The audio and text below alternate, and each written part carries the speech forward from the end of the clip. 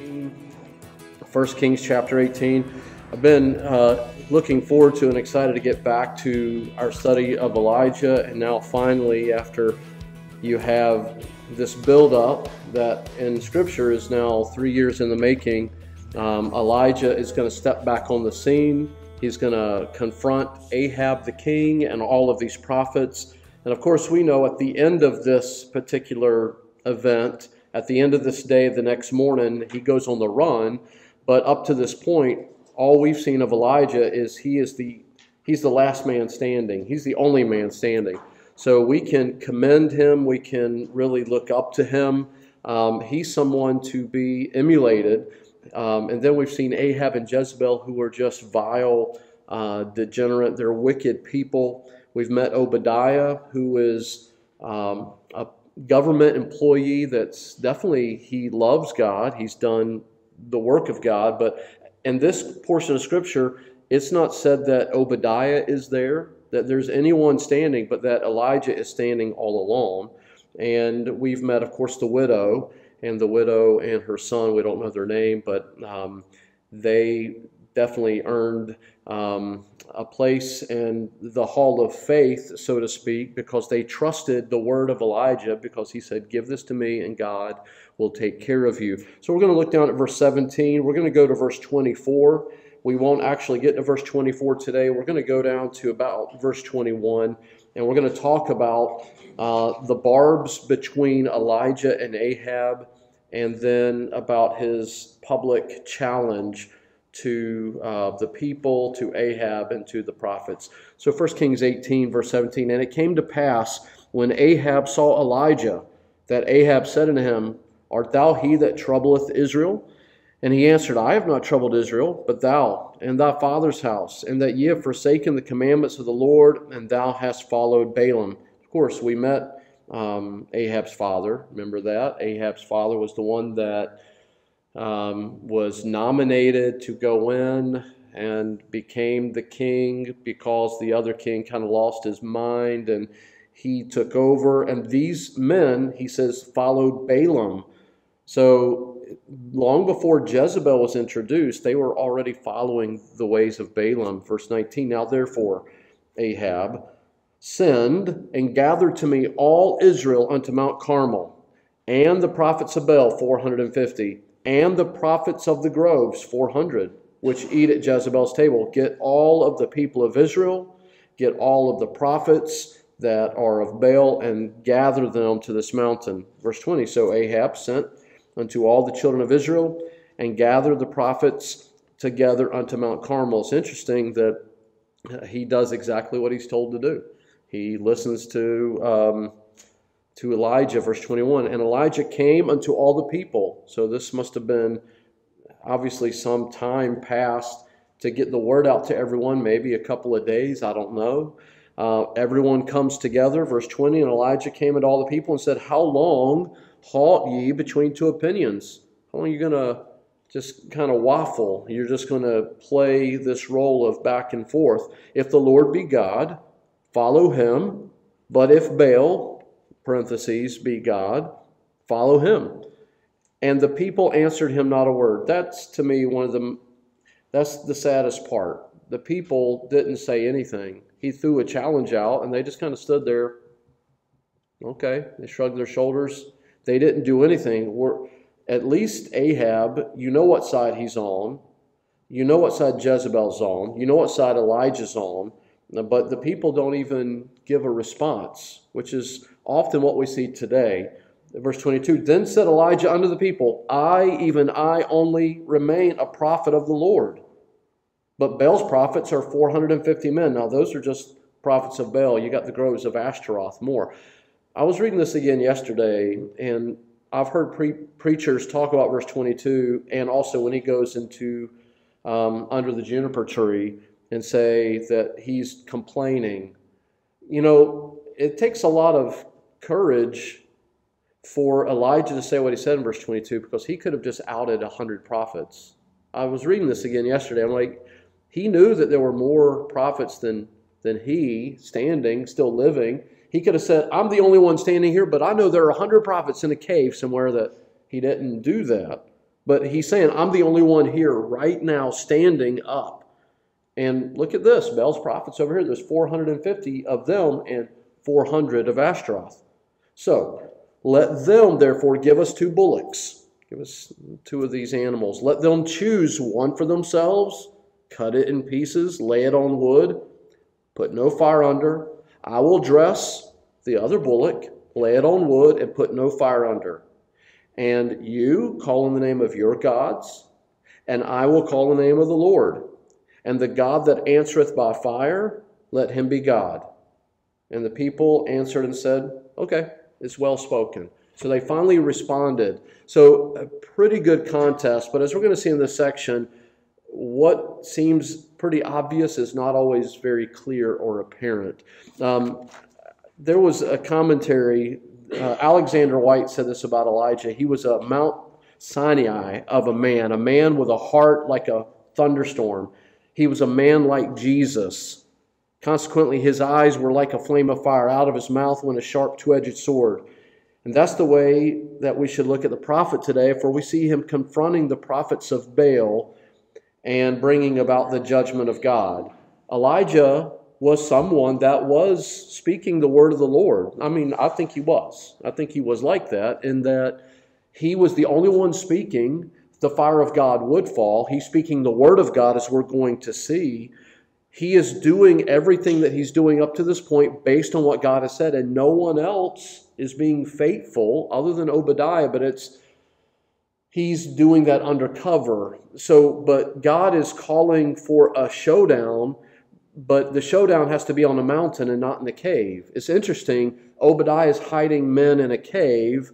Elijah will run and hide eventually in a cave, 40 days' journey away from Jezebel. And God says, Why are you here? You shouldn't be here. Which, to me, the scope of this, we're not going to speak where there's no scripture. Those prophets that should have been standing were hiding. Other prophets were killed. Why did Elijah, why did God only preserve him? Again, questions to ask the Lord when we get there. Uh, one writer says this Elijah's day was a day of confusion, compromise, and corruption, and it's the day we're living in as well. So, Elijah's day, the man of God is saying, You need to choose between the gods of this world and you need to choose between the true God. And there were many gods, even Paul said that. You know, you even got a statue to the unknown God or to the just in case God. And there are all these gods of the world. But Christians worship the one true God. Israel, the people of God, were worshiping Baal and God. They were going back and forth. Why are you going to go back and forth? He said. So today, as we look at the professing Christian world, we see confusion. It's startling to see the things that churches, even some old line denominational churches, are coming out with in their theology. Some of them are going, the word is, they're going woke. They're going away from the doctrines that have been well founded in Scripture, and they're going away from that because uh, you can't just look at the cross any longer or what Jesus did. That's not enough. You've got to, in some way, shape, or form, um, have reparations. Forgiveness at the cross is not enough. You've got to still pay based on who your ancestors were, based on the color of your skin, based on where you live or what you've been given. So forgiveness at the cross is out. Um, in this day of compromise, the fundamentals of the faith are not even believed by a lot of Christians. They don't even know their Bibles. You've got to think the people here in Scripture, they were in Israel, they knew what the law was. Now, 62 years, remember in our study? 62 years. So 1959 to 2021. Madalyn Murray O'Hair had not yet kicked God out of school. She hadn't yet gone and said, We shouldn't be praying, pledging, whatever it is. Um, the nation of our nation of America was different in the 50s than it is in the 20s. Would you agree with that? So the nation in the 50s, Solomon was still the king. He died in 59. Ahab sits on the throne in 21. That's so you've got generations of people that remember what it was like under Solomon, and you've got their kids who have never seen anything but war, destruction, and the nation divided. We said the northern kingdom and the southern kingdom would be like if the north and the south in America, if that if Lincoln was not assassinated and Jefferson Davis was still the president of the Confederate States. Imagine having the split. Doesn't it almost feel like even in many states today in America that there is there's a difference? New York City, I was talking to friends of ours, and you saw this in the news that the mayor, de Blasio, who is on his way out, but um, a total socialist, I mean, a commie, this guy, he's an avowed socialist. He's crazy, but to go into a restaurant, to go into a theater, to go into an, a venue for entertainment, starting at five, every person has to be at least double vaxxed. And, or you can't do that. You can't go into a restaurant. You can't do these things. You've got states like New York, California. You've got nations like Austria or Canada or um, Australia. You got places that are doing things that just two years ago would be unthinkable in Israel, the nation is split. And here is Elijah at this point in time and saying, It's been a long six decades. It's been a long time since we've seen the power of God. Solomon is in the grave, David is in the grave. And where is your faith? You know the law, you know what it is. And you remember um, Solomon's son, when the kingdom was split, the one young man that rebelled against him set up his own kingdom in the north with two golden calves and said, We won't go down to Jerusalem to worship anymore. We will basically will worship here these golden calves in these temples in Dan and Bethel. It's the same way today. People want a convenient Christianity. We want a convenient faith that doesn't interfere. I want a little bit of Baal, but I want a little bit of Jesus too. That's what Ahab is coming up against. That's why we see in these verses that the people didn't say a word until he set the terms of the agreement. We're going to both kill an animal. We're both going to build an altar. We're both going to put wood. We're not going to put fire. And then we're going to stand back and see what happens. And the people are like, okay, that sounds good. Now, we know what's going to happen. They know what's going to happen. Baal is the god of the air, of the heavens, of the thunder, of the rain, Ashtaroth fertility. So if they could have sent rain over the last three and a half years, they would have sent it, but there was no rain. If God wanted to send rain, he could have, but he didn't because there was no repentance. So ultimately, here it's the same way today. So think in mind here um, the FBI, the KGB, whoever it might be, they were out after Elijah for three and a half years. You remember that? We just read about it earlier, uh, the last part of chapter 17. And when he meets Obadiah, he says, We've been searching for you. Every nation, they had to give a verification that they had not seen you. So they've been out after him and they haven't found him. So think of Ahab's mental state no water, crops are dry, famine in the land, inflation, whatever it might be. It's terrible. We have found him. So he's frustrated. And now they're about to meet again. What do you think is going to happen? When Ahab finally meets Elijah, Elijah's got to know God has taken care of me. I'm not afraid. He's told Obadiah, I won't leave. I'm not going to go away. You can go tell your master that I'm here. But as Ahab is riding up on his horse, what's going through Elijah's heart and mind? That's why we entitled this Relate. I think Elijah, no doubt, you know, Maybe there's, I won't say fear, we don't know his mind, but he's a human, he's not God. There's probably a little anxiety, anticipation. But we read in the New Testament that God says to the disciples, Jesus said, Don't worry about what you're going to speak when you get in front of these people. I'll give you the words to speak. You just be faithful. So Elijah is about to stand before Ahab. He's going to ride in on the horse, and we read the first verses here. And he immediately is going to accuse Elijah. And Ahab um, is so disconnected from reality, and Elijah just speaks the truth to him. Someone that lies all the time, they have to tell a lie on top of a lie on top of a lie. They can never get back down to the bottom. Well, I can't remember. But when you speak the truth, it won't always please people, but you don't have to remember what you said. You just tell the truth. So that's where we're going to look today. So he's face to face with Elijah again. One writer put it this way, and I like how he said this. He says, There are three classes of people on the mountain. There are three classes of people. There are the Phoenician prophets. This is really who they are Baal. They're from Phoenicia. They're, they're an imported God into Israel. You've got all of these prophets. You got Ahab. You got, well, Jezebel's not there, but you have all of these prophets there. You have the one person standing against it, one. And then you've got the people who are undecided, which really, undecided is not an option. Undecided is actually a choice. Well, I'm not gonna, I'm not gonna give you my. And people do that all the time in Christianity, but three classes of people. So as we come to this mountain, we're going to really talk about what's going to happen. That's why I entitled it Choices and Voices silence and violence. I really struggled over what to say. It rhymed. I'm not trying to be like Al Sharpton at all or Jesse Jackson. Choices and voices. They were supposed to make a choice, they were silent with their voice.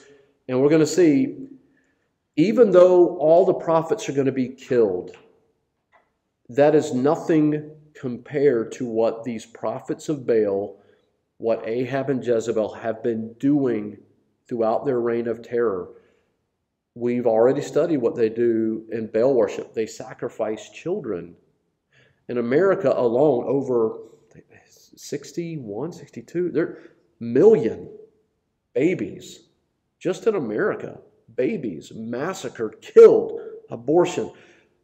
So people will look at this section of scripture, and here's uh, Elijah, this man of God, who is a holy, righteous man in one aspect, speaking the truth of God's word, as we said, much like the Lord Jesus, and we're called to be like the Lord, where he's speaking the truth. But did you know that Elijah also takes up not only the Torah, but he takes up the sword?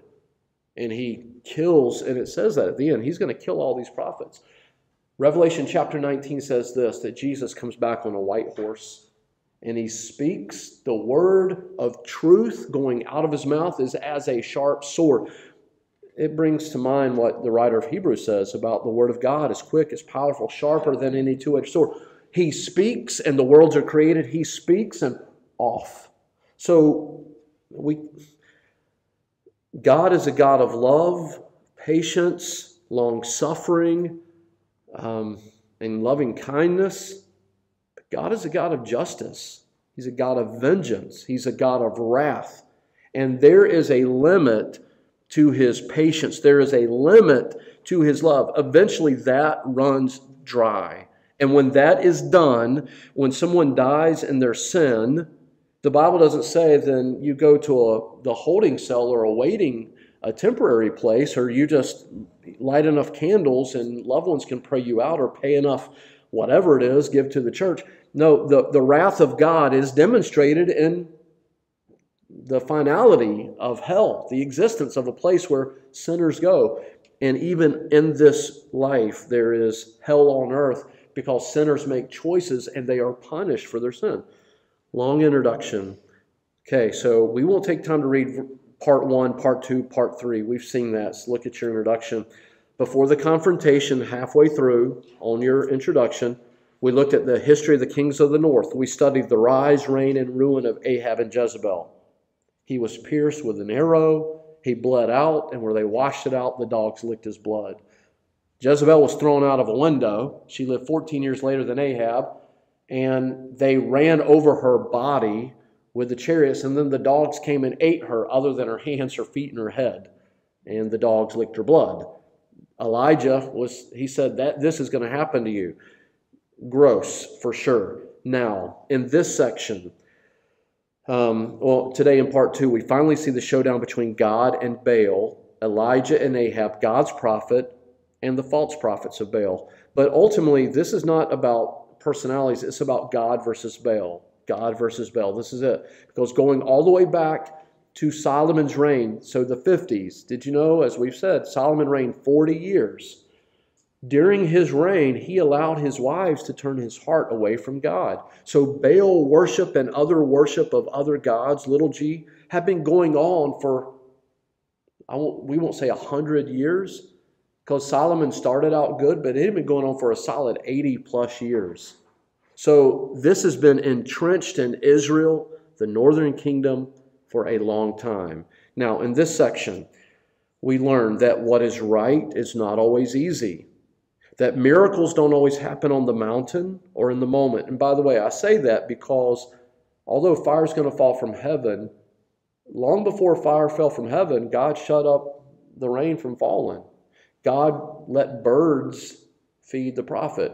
God let the, the cruse of oil and uh, all of this meal that they needed to sustain them. He allowed Elijah to raise this kid back to life.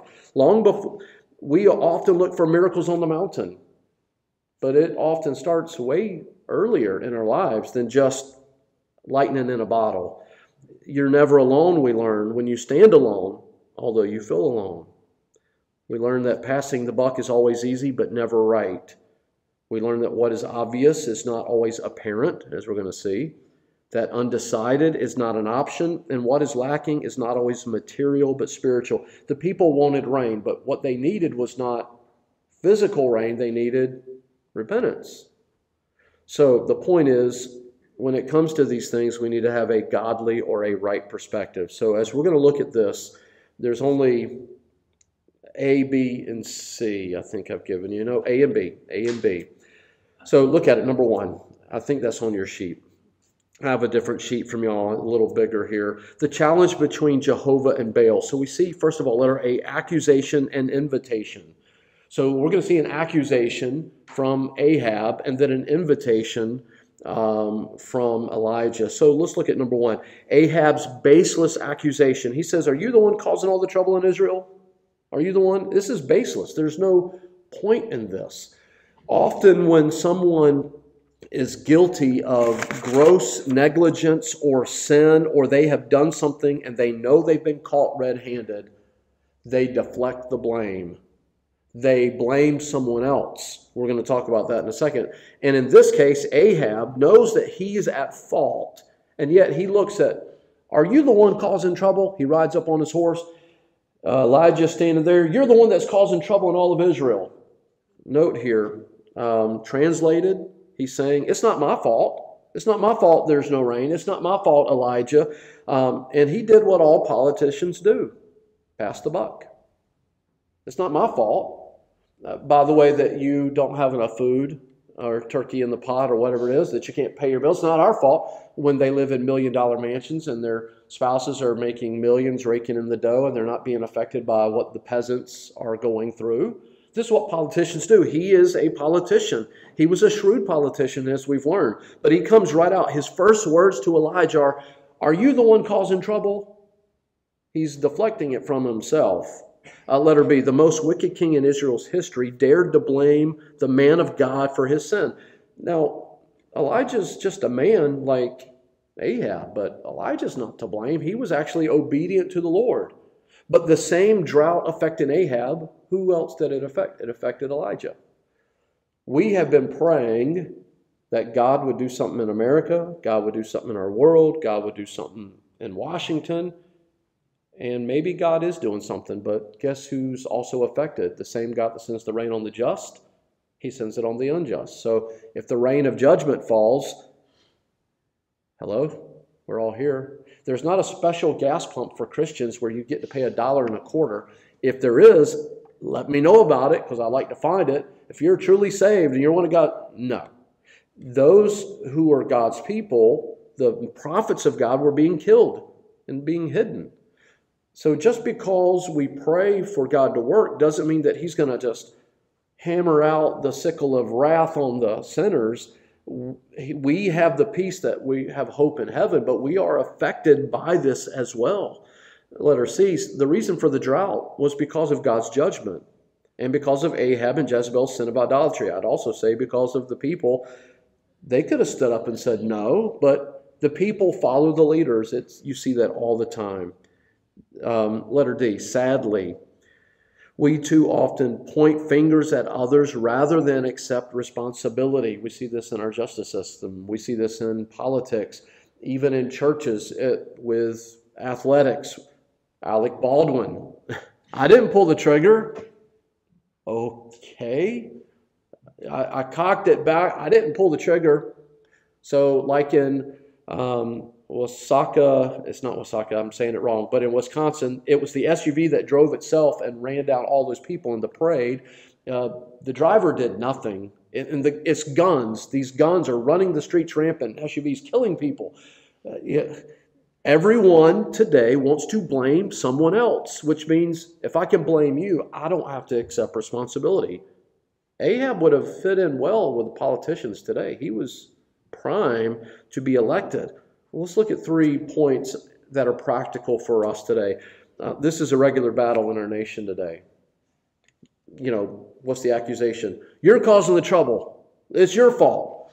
While they're got four fingers pointing back at themselves the dishonest media and government.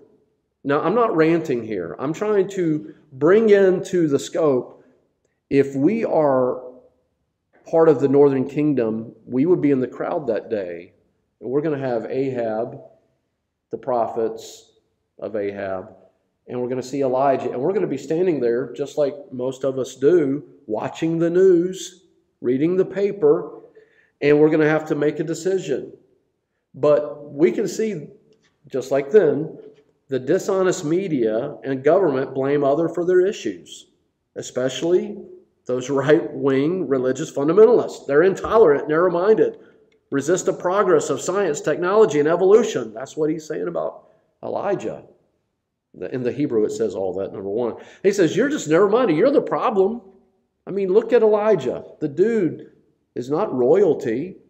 He's a prophet. He's dressed like he's a caveman. He eats bugs and lives out in the wilderness. And, you know, you, he's not genteel like the rest of us. He doesn't sit on a soft cushion or reign from a palace. Who is this guy? That's how they looked at John the Baptist, King Herod did. He was afraid of him, but his wife was not, or this woman. But he thundered to him, You are doing wrong. Who do you think you are? I'm royalty. They looked at Jesus in the same way. All throughout time, number two. But in reality, it is their wickedness that troubles our nation. The wickedness of the leaders that either by default they get elected, they get in. Yeah, there's wickedness on the, the local level. We have to we have to come to grips with who we are before God, but it's Ahab who has a succession of kings. He's seventh. He is just as wicked, and if not worse, the Bible says, than all the rest of them before him. So their wickedness troubles our nation. These wicked people have forced God out of the public square, legislated god- godlessness, and legalized unrighteousness. That's how far did you go from Solomon, the son of David, a man after God's own heart, giant killer. How did you go from Solomon to sacrificing children in the valley of Megiddo? How did that happen? It didn't happen overnight, it was a progression. It's the same way in our country. How do we go where we kicked God out of the public square? He's gone. Where godlessness is legislated, well, let's just decide. I remember listening to that interview by Ralph Northam, thank goodness, who was gone out of Virginia, um, on the radio show shortly before his election, that they would, if a child was born and the abortion was botched, that the child would lay on the, the table there, they would set it aside and not administer anything to help it. They would let it die. We would see what the viable options are for this child that if we want to let it live. He said this, and he was elected twice. Wickedness. Ahab and Jezebel were just as bad, if not worse. This is who Elijah is coming up against, and now he is blaming Elijah. We are in good company if the world looks at us, as Jesus said in John chapter 17, and they hate you. See, many Christians, and we all fall in this category, we want to be liked. I don't want someone to hate me. I want someone to, not that we want, you know, I won't say the Alec Baldwins or whoever it might be, movie stars, Uh, athletes to come and like us. Sure, we want them to know the Lord, but we can't change the message based on the funds we get from the government based on who likes us or doesn't like us or who wants to cancel us. Is that how the gospel works? That's how it worked with Ahab. I gave you this verse, Proverbs 28 13. The Bible says, He that covereth his sin shall not prosper. So they won't, they might get on, but they won't survive. But whoso confesseth and forsaketh him shall have mercy. So Ahab is fooling himself. He's, he's a fool. He is a fool. And up to this point, you would think that he would have learned a lesson, but he doesn't. Letter E. Um, we too can be guilty of passing the buck when we fail to do what we know to be right. That's what the book of James says. If you know to do something that is right and you do it not, it's sin. So if we know something that is wrong and we have part and parcel in it, we're just as guilty. It's like aiding and abetting. So we might not go into the bank, hold the gun up, and wear the mask, but maybe we're driving the car. Maybe we're, you know, we help put make the plans, although we didn't drive and we didn't hold up the gun. We help make the plans and we're going to share in the profit. Well, God will hold us accountable. So, number one, we see Ahab's baseless, baseless accusation. It's not my fault, it's your fault. Sounds just like Washington. We can't fix things. This is your fault. You did this, or someone else. Number two, how about verse 18? Elijah's bold response. You got to think he's very fast. Elijah has a sense of humor, he's very quick on the draw. We're going to see next week that he loves taking shots at these prophets of Baal, and he's making fun of them. Some crass jokes, even about their God. What's his response? Look at verse 18. And Elijah he answered, I haven't troubled Israel. You have, and your daddy, your father's house, your whole family. You've forsaken God's commandments, and you followed Baalim. So look at Elijah's response number two. I'm not the problem, you are. Take responsibility for your actions. Now, you say that to someone, and they could be a son, a daughter, um, a family member, co-worker, a friend, a neighbor, elected politician. You can say that to anybody. Take responsibility. We don't see that very often. In fact, you watch athletes after the game is over, they're blaming the refs. They're blaming the other team. They're blaming the fans. They're blaming their coach. And you can get the coach fired. You can get the fans kicked out. You can get all kinds of things. It's never their fault. Well, I had a bad game. I shouldn't have. Here, Elijah saying, You're the problem, buddy. Now, that's not very nice, Elijah. You know, we're supposed to love people. You know, God is love, right? He puts his finger right in his face. He's up on that horse. No, sir, you are the problem. You are the problem. Take responsibility. So, letter A, B, C, and D. Elijah didn't let Ahab's lies or position keep him from speaking the truth. So, when someone lies and they're not speaking the truth, they're doing something, we have a decision to make. The people had a decision. Remember, there are three groups of people. There are the people who are undecided, Ahab and the prophets who are on Baal's side, and then there's Elijah, the only one speaking out. Letter B, lies and errors deserve a prayerful, biblical, and bold response no matter where it originates from. No matter who says it, we shouldn't just, when someone says something that we know is not right, we've got to pray about how should I respond to this, but there should be a response. What, what am I supposed to say to this? Elijah quickly points back, letter C. We need godly wisdom to know when and how to respond to errors and lies. You know, the problem often is some people that are purveyors of deceit and errors and lies, they don't want to be told. They don't care. They're not you tell them that, they're just going to as Solomon says, answer not a fool according to his folly. Then he also says in another verse, answer a fool according to his folly. So you've got to you've got to be tactful, prayerful. I, I noted this letter D. Jesus didn't answer his accusers.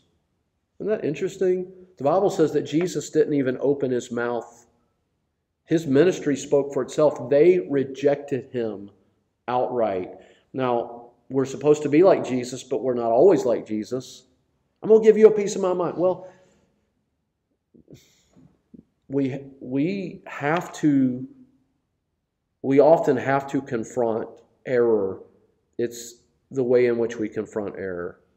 but there has to be someone that boldly responds. And then number three, and this is where we'll end because we have five minutes. I don't believe we'll get to letter B. And it, and it starts the second um, challenge. Look at verses 19 and 20. So we see his baseless accusation. Are you the one? Elijah's bold response, No, it's you. And then Elijah's public invitation. Verse 19 and 20. Now, Ahab, therefore, send, gather to me all Israel under the mount, Mount Carmel and the prophets of Baal 450, and the prophets of the groves 400, which eat at Jezebel's table. So Ahab sent unto all the children of Israel and gathered the prophets unto Mount Carmel.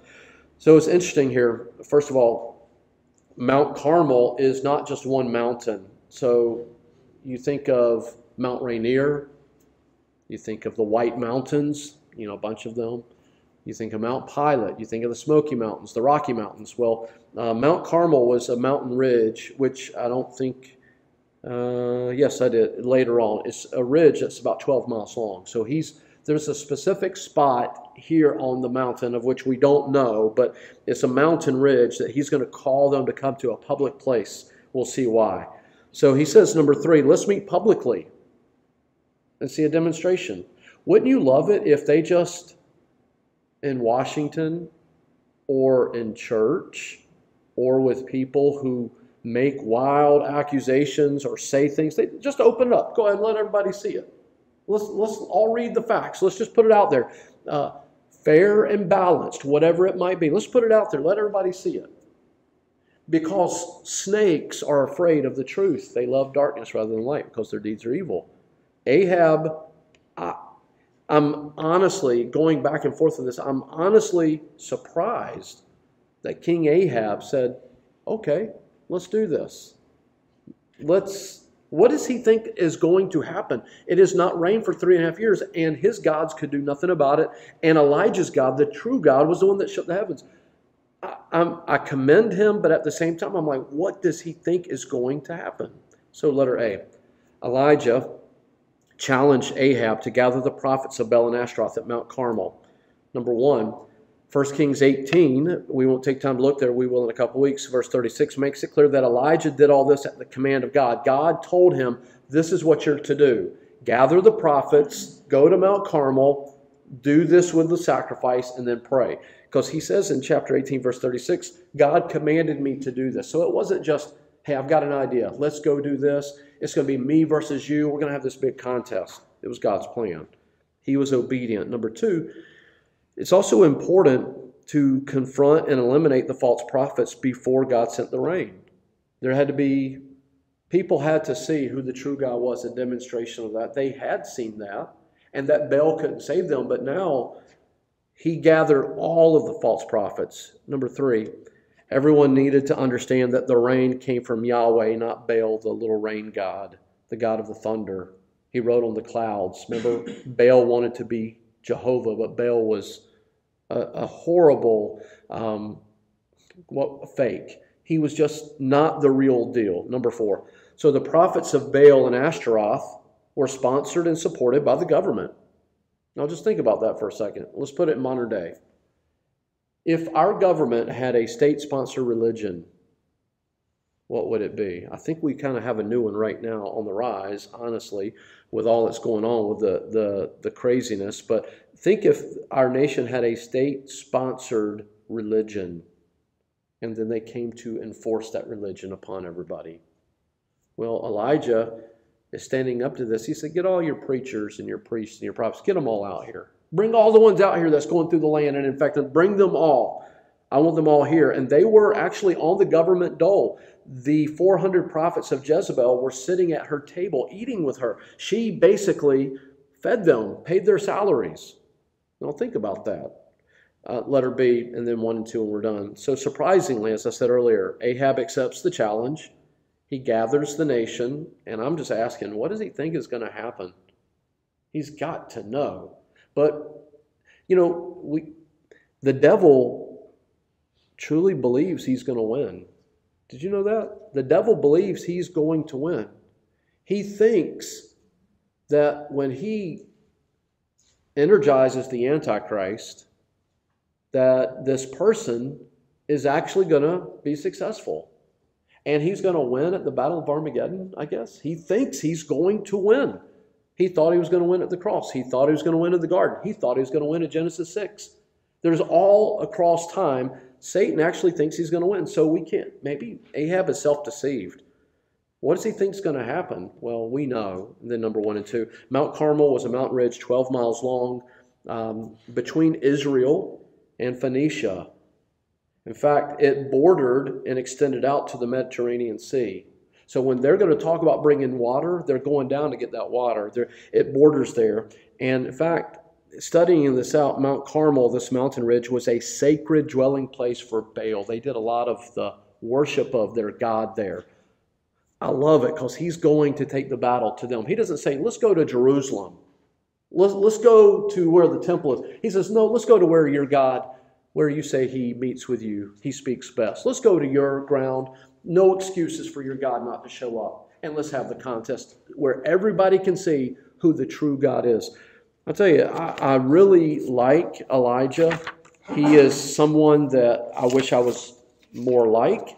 I think I'm more like him in this picture. Because when it's tough, I'm more like him here. Oh man, I'm the only one. I'm less like him in the first half. I'm more like him in the second half. But I think that's why we can relate to Elijah. Because we're up and we're down. But God is always faithful. Let's pray. Lord.